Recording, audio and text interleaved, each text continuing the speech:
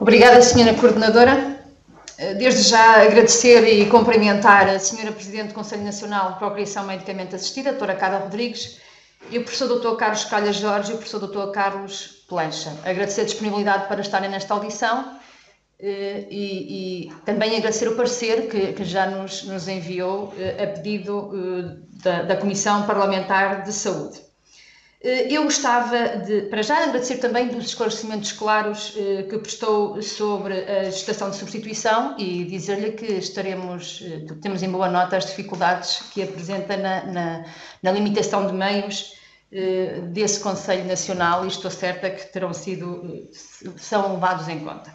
Mas eu gostava de, de fazer aqui um, um, pedido de esclarecimento sobre a questão do, do da pós-mortem.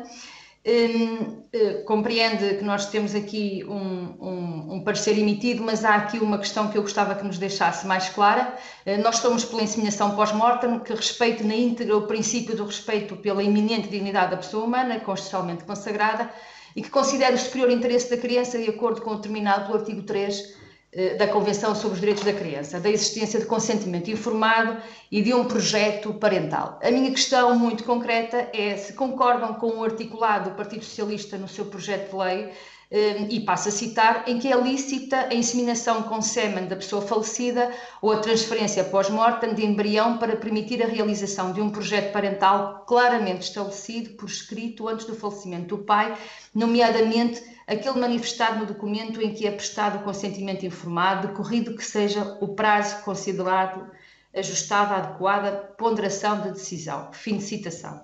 Solicito, se possível, eh, por parte dessa, dessa, do Conselho Nacional, qual o parecer sobre a questão do projeto parental claramente estabelecido antes do falecimento do pai, nesta questão. Obrigada.